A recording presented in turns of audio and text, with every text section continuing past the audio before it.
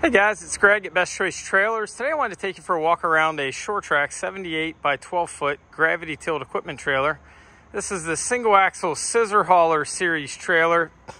Uh, this is the only one of these we bring in. Sure Trac also makes, or at least they used to, I'm not sure if they even still make it, but a 5 by 10 and then a, this trailer with a plus 4 at the front. So a 6.5 by 12 plus 4. So it'd have been like this with 4 foot stationary. Uh, this one here is the most common one we sell. We actually bring this in from a few other brands also in the same size. Seems to be uh, what most, most folks are going to be looking for in a size and weight rating standpoint. So this is a six and a half by 12, six and a half feet by 12 foot long. Uh, has a 7,000 pound axle. Now they're going to count 800 pounds of tongue weight and call this particular model a 7,800 pound GVW.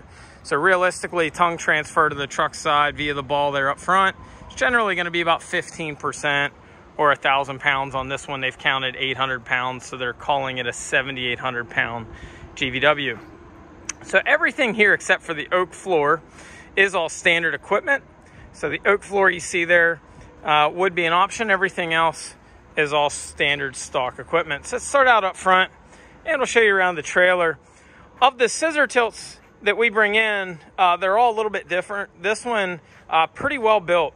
I have to say it's got some kind of neat, unique features.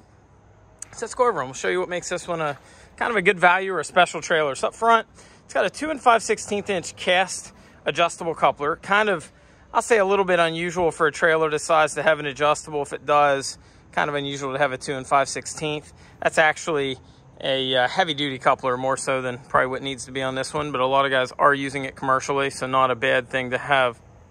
It's got plenty of height adjustment which is important on this. It sits fairly low, designed to sit low to the ground, of course, to load that low to the ground equipment. This one's set all the way down. Uh, if you've got a taller vehicle, odds are you're going to be putting it more like all the way at the top. Uh, reinforced out in the coupler, of course, has your standard breakaway uh, battery. Of course, your safety chains. Safety chains on this are probably a little heavier than they need to be.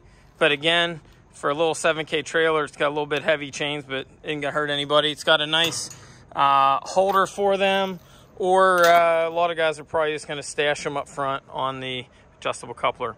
It's also got a 7K drop leg jack. If you're not familiar, basically when you top wind the jack, uh, like so, it's going to adjust this outer sleeve. There's an inner sleeve that you can pull the pin and it'll allow it to uh, go in and out. Nice part is there's no need to haul uh, wood block or similar around. You've got plenty of adjustment on the leg for what most anybody's going to need. You notice the uh, jack is bolt on. Uh, if you ever need to replace it, fairly easy to do so. Uh, there is a plug holder for the plug, which is nice. Standard 7 pin RV blade style plug, typical on most all trucks nowadays. Uh, this one's unique in that it has a toolbox. Uh, this is the only one I'm familiar with in the industry that actually does a standard toolbox. It's nice, gives you plenty of room for your chains, binders, similar. If you're in an area where you need to be locking your box, there is keys for the, lock. Uh, this is a dual pin setup, so you've got a pin on either side uh, to lock it out. I went ahead and put it up just to make it easy. Nice setup, basically just a spring-loaded pin, heavy-duty plate, See some manufacturers miss out on little details. This is a fairly simple design, but yet very, very effective. Uh, it's a five inch tube tongue and a five inch tube frame. Notice the gusset going back the tongue. This does have a cushion dampener cylinder, you'll notice. Fairly tight cross member spacing. Uh, I don't know what they would call this if they even give us a spec, but uh, certainly up front, you're about a 12 inch or less on center. Moving back, you're probably more like a 16 maybe. Uh, this does have a 7,000 pound torsion axle, as mentioned. Notice there are no springs. Uh, wiring's all grommeted, sealed, ran in frame. Sure Trac's generally pretty good with details of their equipment. Notice the uh, triple tube tongue comes back, headers up, weight gets transferred uh, to the tongue coming back. Uh, another detail, lots of tie downs on this as we move back the trailer. You've got stake pocket tie downs, rub rail, and you've also got your four D-rings. So lots of different ways you can tie down. Uh, we do the oak decking on this for a few reasons. One, certainly, uh, this is a trailer that some folks use pretty often. Oak is extremely durable, uh, but also it's rough cut, so we think it's going to give just a little bit better traction when you're trying to load uh, your smooth tired equipment. Tread plate fenders on this, of course, being a 7K axle, it's going to have an 8 lug wheel.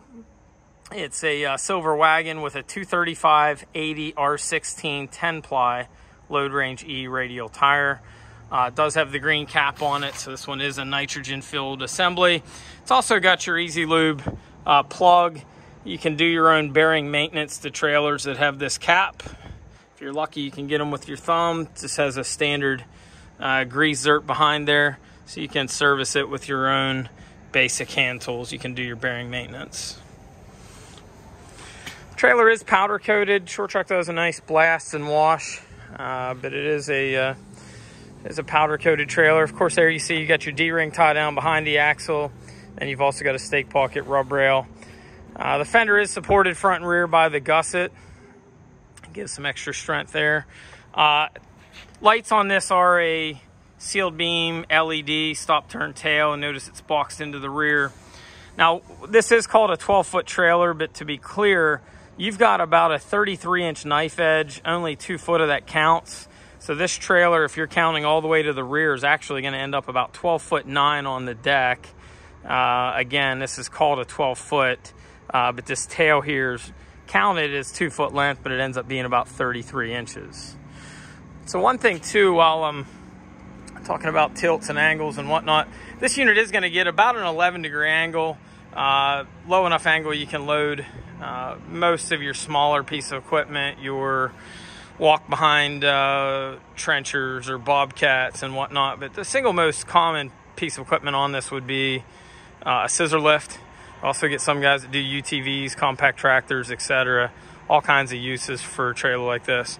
Now you notice, or may have noticed that it's got a taller fender. That's because this unit does use the torsion drop equivalent, or I should say the torsion equivalent to a drop axle get you down lower to the ground, get you that nice low angle. But obviously, if the deck moves down, you're going to end up with a taller fender. In an application like this, where you're not opening a car door or similar, uh, shouldn't really be any adverse effect to having that taller fender on there. This unit's going to weigh in at about 1,500 pounds. It's going to give you a net legal payload uh, off the 7,800 of about 6,300 pounds max uh, towing capacity.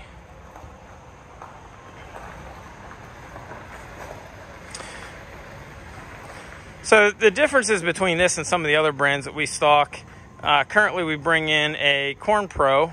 That unit is a little bit narrower and it has a 5,200 pound axle for guys that have just maybe a single smaller scissor lift that weighs three to 3,500 pounds. Uh, it would be ideal. We also bring in a Lamar. It's actually same size as this, six and a half by 12. Also has a 7K axle. Difference on it would be it's got a steel floor. So again, some folks do prefer the wood like this. Uh, if it's going to be wood, we prefer the oak. Uh, some folks, rental companies and that, sometimes do prefer the steel floor as well. So again, we we have different brands that uh, have, I'll say, uh, suit different tastes in that regard. So one thing I'll point out too on a tilt trailer would be generally your axles are going to be slid a little bit farther forward uh, to get that lower load angle. Two ways to get the angle would be one, the, the drop axle, but then two, uh, that axle's pushed to nearly the center point of the trailer. Now to balance out your weight right to the tongue side, uh, this trailer is going to have a longer tongue than most trailers this size. Uh, that tongue's to probably come in a neighborhood of five and a half feet. Typical tongue, you're to be probably a touch less than four foot. So again, your axles on a tilt trailer generally to be slid up about a foot to foot and a half. And again, to compensate for that, uh, your tongue on these are a little bit longer. So 12 foot trailer we said was 12.9 on the deck. You got uh, probably five and a half foot tongue. Gonna end up uh, probably somewhere in the 18 and a half feet range on this trailer tip to tail. So again, you see your latch on the far side as well. One of the only things uh, that Sure Trac does not have on this trailer that's on many of theirs would be a spare tire mount. There's no spare tire on this. If you want to mount, you could do a stake pocket mount uh, on a trailer like this. So we like the tube frame that they use. Many in the industry are going to use probably a channel Some will use a four inch, but again, uh, five inch tube tongue with the uh, lengthened tongue, gusset, and then your main frame. Do a pretty solid job on it. Some are what, I, what we would call a slam down tilt as well. This one here has your uh, gravity cylinder, just makes a fairly smooth transition. Try to demonstrate, obviously the more weight you've got and the faster you come forward, you know, quicker it's gonna drop.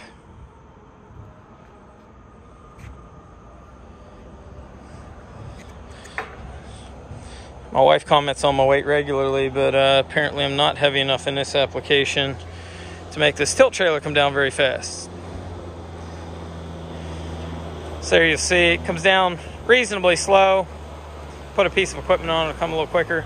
Once it comes down, fairly simple. Just close your pin setup and it's latched out. Fairly straightforward trailer. Sure Trac scissor tilt, single axle.